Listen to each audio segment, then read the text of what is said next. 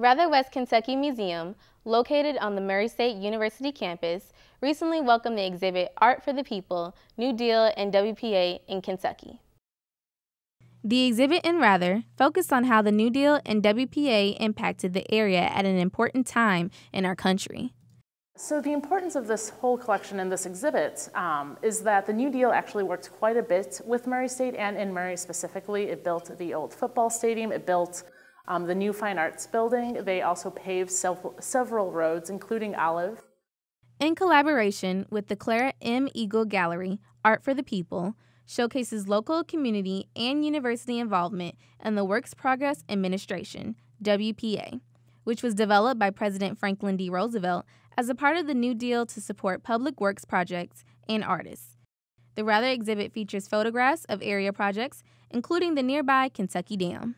Bedrock. The drag line loaded to dump trucks. This equipment transported the excavated material to fills in areas being prepared for the construction plant. Power shovels were used later. Blasts were large in the area and broke the rock at a natural bedding plane. The rock was removed by power shovels, which loaded to 8 and 10 cubic yard trucks.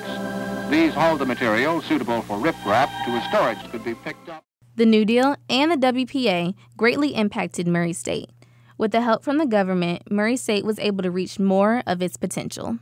It's important to show the work that was done because the New Deal came in at an important time in Murray State's history. Um, we were a pretty new college by the time the 30s hit, and so with the Depression, it was pretty hard for us to get things done and get things going, and so with the help of these programs, we were able to help build the college and continue um, offering higher education to people who are interested. Students in the community will now have the opportunity to see how something that is usually thought of as just another page in the history books impacted the place that they call home.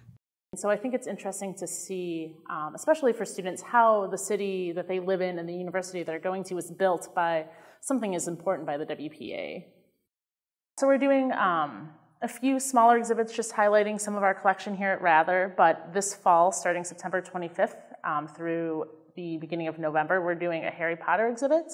It's traveling from the National Library of Medicine, and it focuses on how the stories of Harry Potter draw from the Renaissance time, so both in terms of medicine and stories that are told in imagery such as owls. So that, that'll be here, and we'll do several lectures, and we're going to do trick or treating for kids with that.